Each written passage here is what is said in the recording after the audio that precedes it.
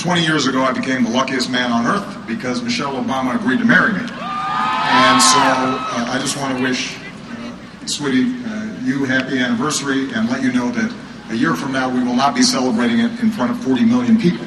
Well, it was really interesting. Um, pretty catty as far as debates go, I'd say. And unfortunately, Romney didn't meet the expectations I had for him. So it looks like my vote's for Obama this year. A lot of the you know details that he needed to supply weren't there.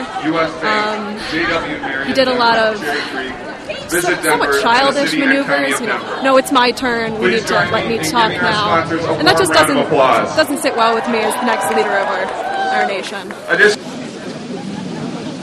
He didn't seem to have like a complete plan, so that kind of bothered me.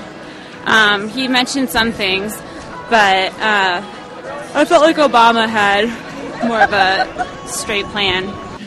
Okay, let's have a good time. I'm still deciding, but I'm leaning more towards Mitt Romney right now. All right. So what was it about the debate that turned you? Um, I just feel like he described more of his plans. I, mean, I don't know. His, it just seemed to resonate more with me. And I, I agreed more with him. For middle class families and small businesses.